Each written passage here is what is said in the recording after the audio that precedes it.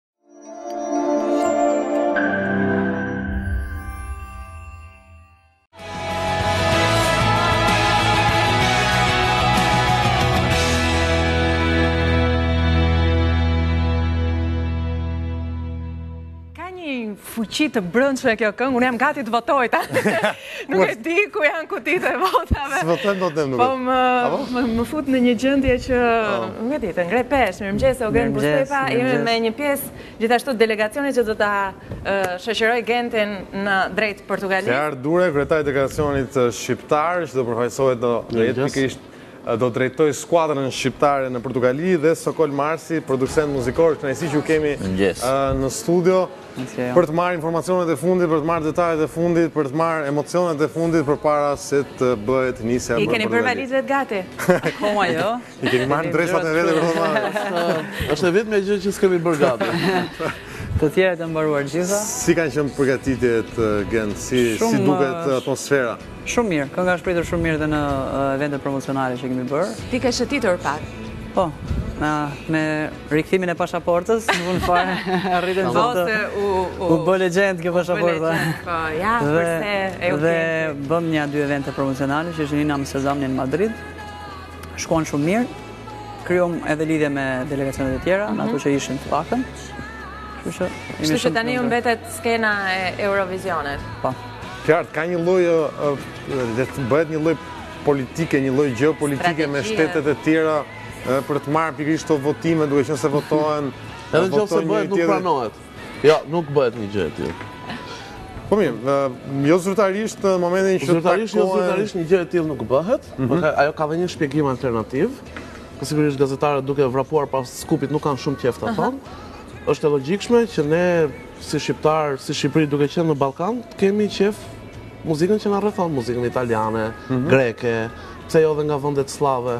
Nuk besoj që ju për shembull të keni dëgjuar kohët e fundit këngë armene. Normale që shqiptarët nuk janë të prirur të votojnë për këngë armene, gjeorgjiane apo të vendeve balltike, pa asnjë lloj paragjykimi. Mhm. Po nuk është tregu i tyre muzikor, ndërsa këto vende që janë rreth e përqark, sigurisht janë vende të cilat kanë ndikim më të madh muzikor dhe Nga kjo lind dhe fakti i këtij votimi familjar, të themi, që vendet e Ballkanit përgjithësisht mbështesin njëra-tjetrën, vendet nordike mbështesin njëra-tjetrën, vendet ish të ish Bashkimit Sovjetik mbështesin njëra mhm. tjetrën e kështu me radhë. Ka të bëjë me gjeografinë e muzikës dhe në fakt kjo nuk është dhe një gjë që ka ardhur nga këto vendet e lindjes, pavarësisht se iu është etiketuar gjithmonë atyre, kjo është një gjë që dhe në gjuhën e Eurovizionit i thonë votim Skandinavët, skandinavët e kanë shpikur të parët. Kështu që nuk ka votim gjeopolitik në Eurovision, por ka përqasje muzikore, shijesh, rrjedhimisht ka dhe votim të tillë. E thamë! Sa të shtojnë shumë. Sokol, po nga ana tjetër duket sikur vendet e vogla në një farë sensi dekurajohen pak nga këto festivalet, të mëdha për shkak të votave. Sa ndikon Fakti që je një vend me potencë të madhe dhe politike ndoshta në evenimente si Eurovizioni. Se shpesh herë ndoshta edhe justifikojmë veten në edicionet e kaluara kemi thënë zyrtarisht po themi ose kur e sheh Eurovizionin nga jashtë ka një lloj kështu një lloj stepje dhe thua vend i vogël ashtu por praktikisht ndodh e kundërta në fakt. Ne kemi qenë pjesëmarrës disa herë në Eurovizion edhe Atje një material i mirë, një artist i mirë, sigurisht me vlera, mikpritet dhe Shqipërisë i ka ndodhur disa herë, jo vetëm një herë, që të jetë prezantuar me artistë të mirë dhe këngët e, e Shqipërisë janë mirëpritur.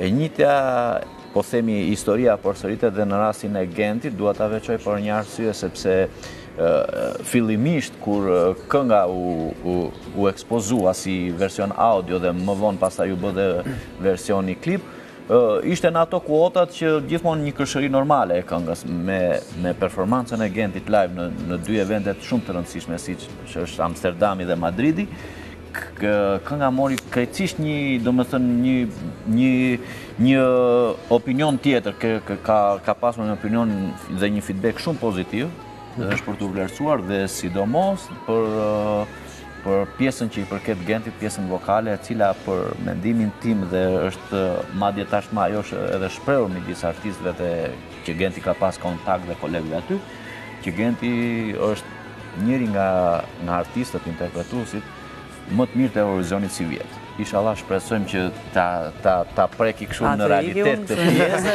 Jo, nuk e them për shumë, është për shumë vërtet. Janë bërë disa sondazhe, janë bërë disa sondazhe, disa kështu artistët vetë madje ia kanë shprehur, jo unë, po artistët kolegët që janë pjesëmarrës sivjet, që Genti hyn tek ata artistët e veçantë për sa i përket interpretimit, sigurisht pa lënë mbrapa dhe materialin muzikor. Genti, në një aktivitet si ky, kemi shanse të hyjmë me shpresën për të kapur siç do edhe vendin e parë? A, po. Pra, kur jemi, kur jemi në një kombëtare futbolli, themi... Tani, synimi kryesor i yni është të japim maksimumin. Maksimumin. Pastaj se si do të ndodhë atje nuk e kam idenë, me thënë të drejtën. Ne do japim maksimumin, jemi përpjekur që të arrijmë deri këtu, shohim se çfarë. Herën e fundit që ishe, na the shumë pak për sa i takon performancës. E njëjta gjë ka ngel. Por është diçka e thjeshtë, jua kam thënë dhe herën e parë, diçka e thjeshtë, Unë do jem bashkë me bandën. Nuk të pyes dot as çfarë do veshësh? Në fakt, ne kemi bashkëpunuar me Enada At Nikolla ah. mhm. dhe mund t'ju them që është bërë një punë fantastike. Ah, okay. Jam shumë i kënaqur për këtë gjë. Se mendoja që... Me stil rock ekstravagant, po që kemi dhe klasikën brenda. Fantastike. Kështu që është perfekte. Kleart, a mjaftojnë këto dy udhëtime, le të themi Madrid dhe në Amsterdam, për të bërë këtë pjesën e promos, për të bërë këtë pjesën e shfaqjes, Para festivalit, them këtë sepse dje ishim me Ajselin e Azerbajxhanit dhe kishte krijuar në pak ditë një tur të paktën pjesën më të madhe të Ballkanit në shumë pak ditë. Sa mund të ndikojë ndoshta kjo lëvizshmëri e tepërt në mirë ose në në në keq ndoshta në raste të tjera. Sigurisht sa më tepër ture të bësh aq më mirë është. Turet hartohen në bazë të një strategjie. Mhm. Duke qenë se ne konkurrojmë në një gjysmë finale, normalisht turi ndërtohet në bazë të tillë në mënyrë që të mbështesë kalimin e Shqipërisë në finale. Pastaj ndryshon gjeografia e votimit, sepse në finale votojnë të gjitha shtetet pjesëmarrëse. Do të kishte qenë më mirë, por për fat ne patëm disa probleme teknike dhe kjo pamundësoi vajtjen edhe në një në dy ture të tjera. Megjithatë, e rëndësishme është që pjesëmarrja e Eugentit në turet promovuese ka ardhur në kreshendo. E thashë dhe unë një term muzikor. Sepse sigurisht Amsterdami ishte paraqitja e tij e parë përpara dhe gjithë mediave të cilat mbulojnë Eurovisionin. Shprehën interes shumë të madh, vinin gjithë kohën e takonin, bënin fotografi, filmonin. Dhe pastaj kur u bë performanca e tij skenike, atëherë sigurisht ndryshoi opinioni i të gjithë pjesëmarrësve në mënyrë radikale. Dhe sigurisht që kjo u thellua akoma dhe më shumë me Spanjën. Sigurisht ju thashë, mirë do ishte, por turet promovuese nuk përfundojnë tani. Mhm. Pavarësisht, pas shkuarjes tonë në Portugali dhe pas përfundimit të provave ditën e diel, ditën e hënë do kemi takime, Genti do japë intervista dhe me dhe për mediat vendase, sepse Portugalia voton në gjysmëfinalen tonë, si vend i cili është kualifikuar direkt finale, me ato spanjolle që gjithashtu është një nga vendet e mëdha të cilat votojnë aty. Do ketë një intervistë për BBC-në, kështu që besoj se, domethënë, vazhdon në formën e saj turi promovues për për artistët tanë. Ndërsa për sa i përket asaj që ne do ta fitojmë, ne sigurisht që marrim pjesë për të fituar, nuk është gjithmonë rasti, sigurisht edhe ne nuk do donim, do donim ta fitonim përherë. Asnjë shtet nuk do donte ta fitonte përherë, por unë do tërheq vëmendjen për diçka tjetër që Shqipëria ka qenë Në gjysmat e herëve që ka marrë pjesë në Eurovision ka kaluar në finale dhe në gjysmat e tjera për fat të keq nuk ka kaluar në finale. Kombëtarja e Shqipërisë ka kaluar vetëm një herë në finale, është bërë nami. Ne kemi kaluar 7 herë.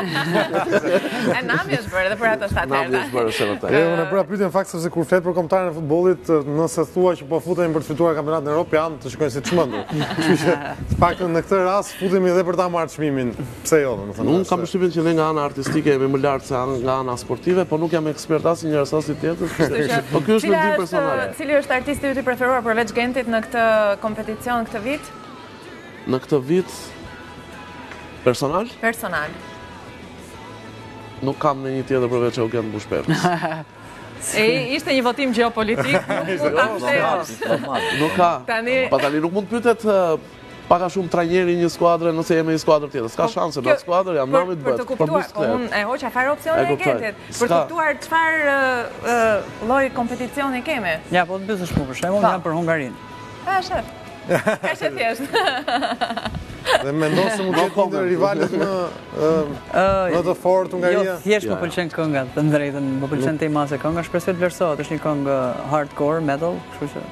Pra më pëlqen mua. Kenti. Ka që me jam tohë për Kenti. A mund ta pyesni dhe Kolin njëherë? Ja Kolin në fakt do ta pyesja. Kolin sa mendoj se shpëtoj. Sa ndikojnë rrymat muzikore të ndryshme në këtë festival, Sokol. A ka faktikisht ata që kanë fituar, kanë treguar që në çfarëdolloj rryme, në qoftë se bëhet diçka bukur dhe cilësore mund të fitosh. Por ka pasur për shembull për një periudhë goxha të gjatë ka pasur këtë ka qenë kjo ideja që në Eurosong duhet të jetë një këngë ritmike, një këngë që të ndezi, një këngë Dance. kujtoj Eurosong Ukrainën, para ca vitesh që mbete muzika. Disa herë dhe aq sa mendoj unë, nuk është e thënë që të jetë një këngë ritmike, është e thënë që të jetë një këngë e mirë, një artist i mirë, që të bëj të krijoj më saktë të jetë i veçantë, sepse atje midis 40 vendeve kështu krijohet një një stereotip këngësh që hyn njëra del tjetra dhe ti duhet që të bësh direkt aty për aty në 3 minuta diferencën dhe diferencën aty e bën një wow po themi një artist që ka po themi një tesiturë vokale të mirë ose një këngë që është një këngë super një produ, një super produksion kurse për sa i përket vizual, po për sa i përket pastaj pjesës që jo ritmika apo pa ritmika aty ka pas këngë super balada siç është për shembull po marr rastin e Konçitës të fundit që ka mhm. fituar me baladën e Austrisë Që ishte një këngë pa pothuajse vetëm me ritëm të brendshëm dhe ka fituar dhe është pritur shumë mirë, po kështu ka pasur edhe këngë si Suedia që mban atë flamurin e këngëve dinamike, ritmike që ka fituar, kështu që nuk do të thotë asnjë gjë për sa i përket pjesës së kësaj, e rëndësishme është që të jetë Një këngë një një një këngë e mirë, edhe edhe vetë Shqipëria madje ka pasur raste që domethënë ka pasur ë balada ose këngë ritmike dhe dhe është është është vlerësuar maksimalisht. Kurse për sa i përket pastaj pjesës që për shembull unë mendoj personalisht që sivjet Më fal, desha të thosha, Eurovizioni ka marrë një trend në, në ngjitje, në crescendo mhm. që e tha Klearti më parë. Kështu që erdhi dita dhe të të citoj maestro. Duke ndenjur me muzikantë që mëson. Normale. Kështu që ka marrë një trend në ngritje, nuk është më ai Eurovizioni, po ta shikosh me ato këngët, baladat klasike, baladat janë balada, por janë balada të një të një versioni tjetër, R&B e tjera e tjera. Kështu që edhe sivjet, por nga materiali muzikor që kam parë unë, ka, ka shumë, ka trende të ndryshme madje, përflitet, sigurisht nëpër këto uh, sajtet që uh, kanë këto rating që votohen mm -hmm. edhe bëhen, mhm. që në një farë mënyre të japin një indicie ashtu publike, po themi, uh, për shembull kënga e Izraelit, është uh, kënga më e kuotuar për të fituar, dhe faktikisht, Në vëmendjen time si material muzikor, ajo është një këngë e përbërë nga disa gjëra brenda, të cilat ata i kanë marrë, i kanë mbledhur për të dhënë një shembull të një këngë se si mund të jetë një këngë performuese.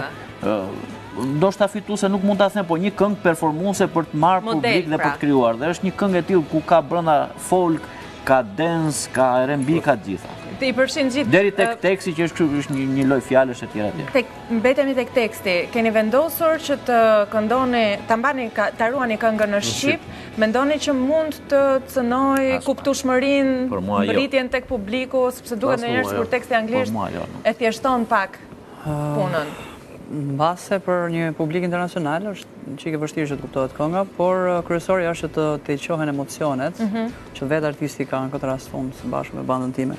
Besoj se ato emocione mund të tejçohen edhe nëpërmjet një vije melodike të mirë, mhm. e cila mund të përthithet ose një emocione. Vokali të mirë. Po, kjo është shumë e thjeshtë për tekstin do ketë dhe titra, ndoshta ka më shumë për të specifikuar mesazhin. Kuptohet të paktën nga pjesa e jurive që do të votojnë për këngën tonë, apo domethënë juritë profesionale, tjerë këtë teksti sigurisht që ju shkon i përkthyer. Sigurisht. Kurse pjesa publike pastaj, është e detyruar që mund të hapë te Google Translate. Nëse u pëlqen kënga. A mund të shtoj diçka? Po, po, patjetër. Thelbi i Eurovizionit është të sjellë bashkë muzikën nga të gjitha vendet evropiane. Ky diversitet, po. Duhet ky diversitet. Absolutisht duhet të jetë Shqip. Kjo nuk do të thotë që ne çdo vit duhet ta mbajmë Shqip. Dhe kjo nuk është nuk është nuk nuk është rast që ne kemi mbajtur. Varet nga materiali muzikor, i rri më mirë Shqip, i rri mhm. më mirë Anglisht.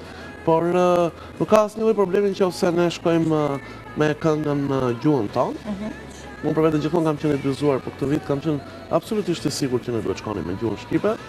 Dhe këtë vit ka dhe një rritje krahasuar, ndjeshme krahasuar me vitin e kaluar që kanë ardhur me këngë në gjuhët e tyre kombëtare. Kështu që Natën e parë do të jenë në gjysmëfinalen e parë do të jenë 19 shtete që konkurrojnë, pesë ndër to konkurrojnë me këngë në gjuhën po. e tyre. Po. Po. Si si është ndarë, për të thënë dy fjalë ndoshta për strukturën si është ndarë Eurosongu ditët Tetë maj është performanca? Tetë maj është performanca jo, ne jemi të tretët në radhë. Të tretët? Po.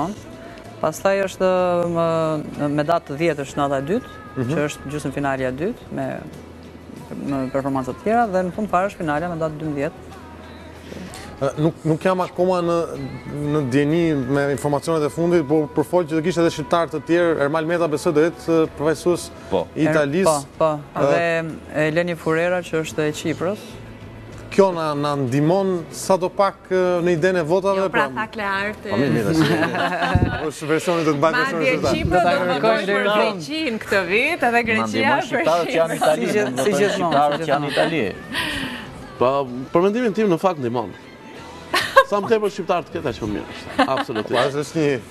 Sigurisht, nuk është gjithmonë tregon vitalitet për një komb në fund të fundit që këngëtar, sigurisht ata kanë vajtur për arsye të ndryshme, nga më të ndryshme, jo për t'u bërë këngëtar në vendet të cilat përfaqësojnë, po tregon vitalitet të një kombi që arrin të çajë me talent, arrin të fitojë festivale prestigjioze si ai i Sanremos në Itali, apo arrin që të fitojë një casting në një vend edhe të vogël siç është Qiproja tërheq vëmendje, nuk ka media atje që nuk e di që ne jemi me me tre shqiptarë. në Eurovision.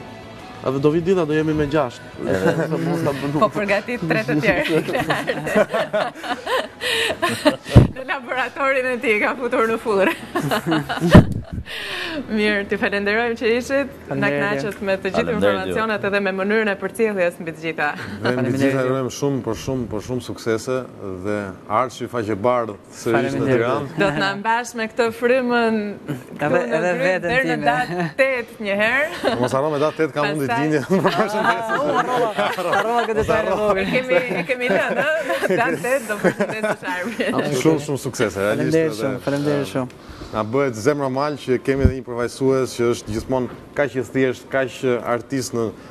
Në çdo sens, jo vetëm në aspektin muzikor. Kështu që na nderoni. Faleminderit. Faleminderit. Ne do shkëputemi vetëm për pak sekonda hapësirë publicitare dhe më pas do rikthehemi me rubrikën e dytë para se të mbyllim emisionin Mirëmëngjes Shqipëri, sa i përket informacioneve të fundit rreth botës së sportit.